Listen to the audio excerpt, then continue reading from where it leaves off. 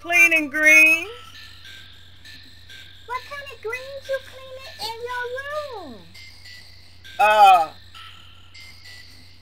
uh, the healthy kind.